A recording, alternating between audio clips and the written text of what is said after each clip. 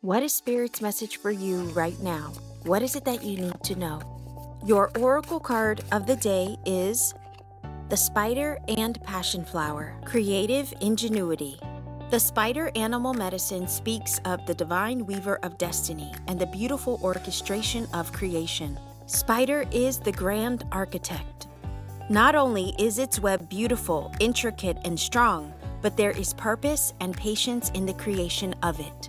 Likewise, we too can create, using our natural gifts and talents paired with labor to design our best life. All we need is a little ingenuity, patience, and faith.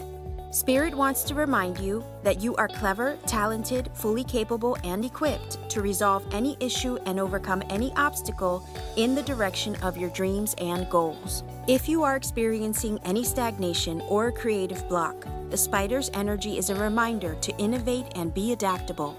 Spirit's guidance here is when there is a hole in the web, Spider finds a way to reconfigure the design and work around it, and so can you. Have faith that your efforts, patience, and labor will pay off in the end, because it always does. Much love, everyone. Take care and always keep shining.